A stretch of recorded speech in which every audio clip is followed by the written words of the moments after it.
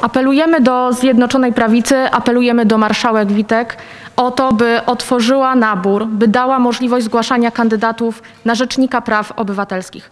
Ten urząd jest niezwykle istotny dla naszych współobywateli, dla milionów Polaków, milionów Polek.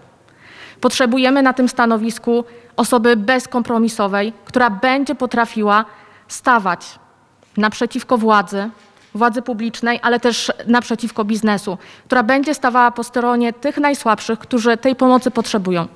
I ostatni czas, ostatni rok, czas pandemii pokazał jasno, że potrzebujemy głosu Rzecznika Praw Obywatelskich w takich tematach jak dostęp do ochrony zdrowia, równy, sprawiedliwy, dostęp do szczepień. Wszyscy doskonale wiemy, co się dzieje i co się działo w ostatnich miesiącach. Tutaj głos Rzecznika Praw Obywatelskich musi wybrzmieć, musi stawać po stronie tych osób, które są wykluczane z dostępu do świadczeń, które są im dane w Konstytucji na mocy prawa, a odbierane są im tylko dlatego, że urodziły się w niewłaściwym miejscu, w niewłaściwym miejscu pracują, są mniej zamożne od innych.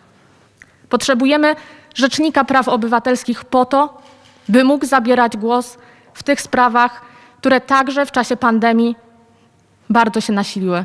To są trudne tematy, to są tematy dotyczące przemocy domowej, która w czasie pandemii, kiedy jesteśmy zamknięci w domach, przybrała na sile. Potrzebujemy Rzecznika Praw Obywatelskich po to, żeby stawał po stronie tych, którzy bardzo często stracili środki do życia, stracili swoją pracę ze względu na obostrzenia wprowadzane przez rząd.